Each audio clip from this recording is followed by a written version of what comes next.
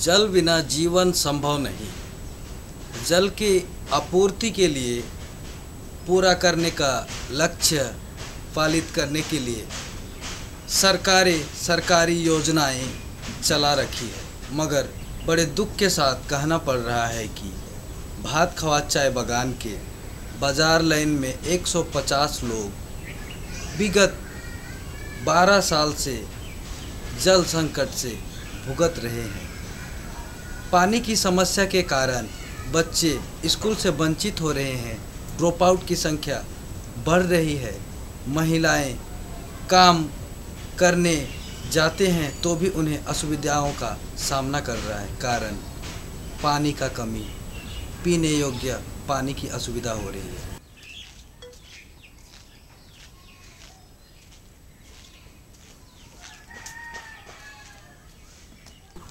अच्छा का असुविधा है तोरे का पानी के कैसा ना सुविधा होते? पानी ढेर दूर आने के जाए के पड़त है।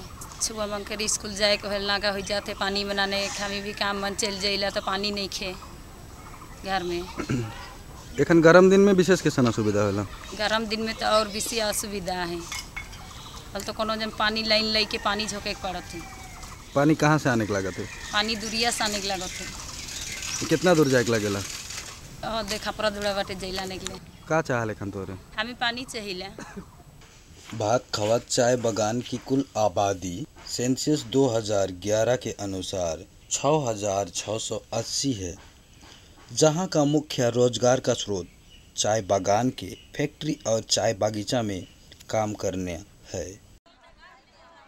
सुबह सात बजे से साढ़े ग्यारह बजे तक काम करते हैं, फिर खाना की छुट्टी एक घंटा पानी की तलाश में ही चली जाती है। अगर पानी ना मिले तो प्यासा ही रह जाना पड़ता है। बगान में गिना, हमारे लिए पानी पिए के लिए नहीं भेटा थे बगान में। इन्हें का कहन लुगा फटा, नहाए, धोए ले हमें के पानी का जी नहीं भेटा थे। यह जो जीपी में सामने रह के हमारे घर बहुत बड़का समस्या होते बगान में जैला लेट हो जाए तो बाबू साहेब हमें के बहुत किस्म कर मने भाषण सुनाए ना इतना लेट का है आता है। कितना दिन से असुविधा है पानी का ऐसे दस बारह साल से होते तो फिर पानी मन पिए के लिए कितना दूर जाए के लगेल तोरे के? बहुत दूर जाए के पड़ेला यानी कि हटखोला से चौपत्ती जाए पड़ेला हमें पानी आने के लिए। जैसे कि हम लोग ऊँचा जगह में रहते हैं ऊंचाई जगह के साथ साथ हम लोग 35, 40, 45 फीट तक गहराई तक पाइप डालते हैं। फिर भी पानी सही ढंग से नहीं आ पाता। आता है होने से भी पानी बदबू और गंदगी।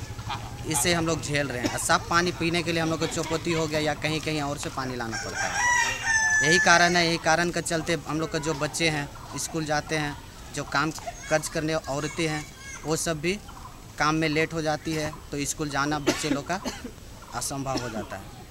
यही कारण हम लोग को सबसे बड़ी समस्या पानी का है। जो बदबू पानी निकल रहा है उससे कुछ चर्म रोग सब भी हो रहे हैं क्या? हाँ हो रहे हैं। इस समस्या के बारे में समुदाय प्रशासन बागान प्रतिपक्ष को भी जानकारी दी गई है मगर कार्रवाई कुछ नहीं।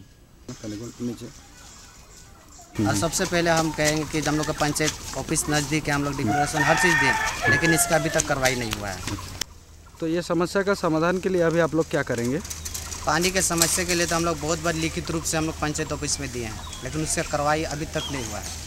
फिर भी हम लोग चाहते हैं प्रशासन को जितना जल्द हो सके ये समस्या को हल कराएँ।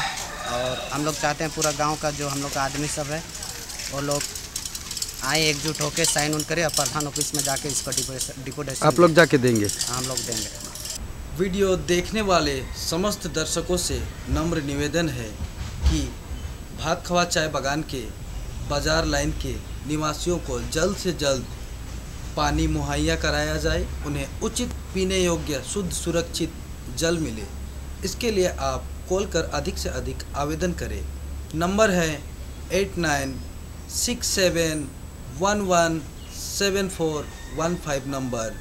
प्रधान लीलामती ग्वाला को फ़ोन करें। ख़त्म हो। मैं हरिहर नागवंशी, पश्चिम बंगाल से, इंडिया, अनहट के लिए।